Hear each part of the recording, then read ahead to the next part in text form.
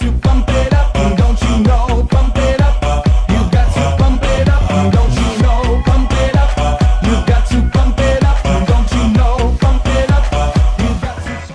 Freunde, willkommen zum heutigen Test. Wir testen heute die Katan B-Böller. Ähm, so ein Päckchen kostet ungefähr 1,50 Euro, je nachdem wo ihr es kauft. Dadurch, dass das Päckchen hier schon mal offen ist, kann man euch mal einen rausholen. Ähm, ja, Verarbeitung halt oldschool technisch oder oldschool mäßig. Ähm, hinten zugestopft, vorne auch zugedreht, so wie es aussieht.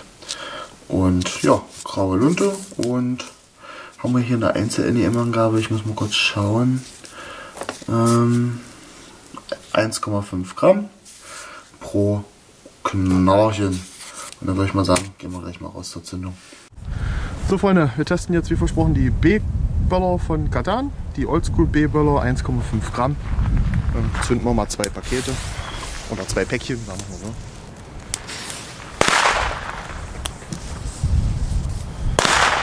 Naja, vom Knall her 1,5 Gramm. Aber schnipseln tun sie jetzt nicht.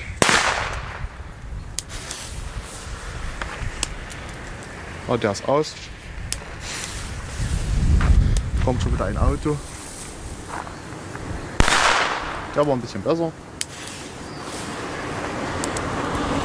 Der ist auch wieder aus.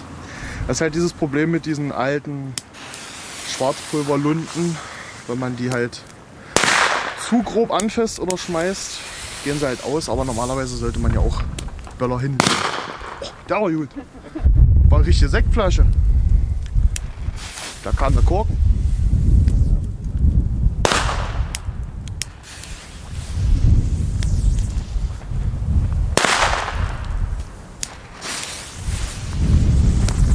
Ja, also.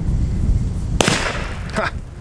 Also ich sag mal so, für was kostet der Schinken? Der Schinken mit 10 Pakete kostet knapp 10 bis 15 Euro, also 1,50 pro Paket. Ich werde sie mir trotzdem holen. Also Freunde, macht's gut, bis zum nächsten Video.